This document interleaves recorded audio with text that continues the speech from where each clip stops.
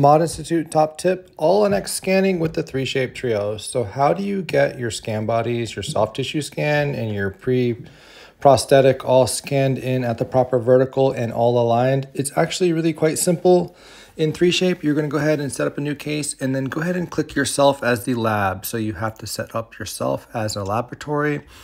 And then you're gonna go ahead and just call one of the arches a single unit crown and make sure you select implant crown because that's going to open up additional library options. Click one um, tooth on the upper and one tooth on the lower. That just saves time later on. Hit save, and then you're going to go ahead and go ahead and make sure that the emergence profile is selected and pre-preparation scan is selected. That gives you three library catalogs per arch, pre-prep, soft tissue, and scan body. And so now when you go, look at all of these libraries. Start off scanning your pre-prosthetic here. Um, so I started on the um, hamular notch and I'm scanning that whole entire provisional in. And then I'm going to go to the lower and do the same thing, but start on the retromolar pad. Trios is phenomenal at doing this. Then scan the bite. If it, then now my bite didn't pin automatically, so I did a manual alignment. And now it duplicates the arches into the soft tissue scan.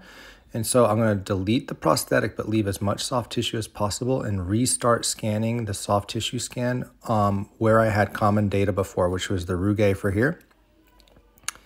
And then um, it's going to ask you then to delete the little MUA caps. In this case, it's a true abutment segmented bar.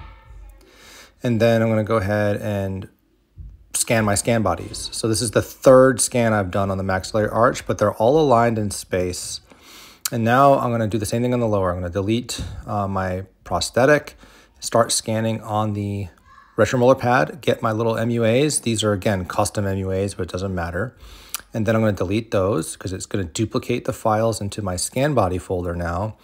And now I'm gonna start back on the retromolar pad as well. It picks it right up and I'm gonna scan my scan bodies.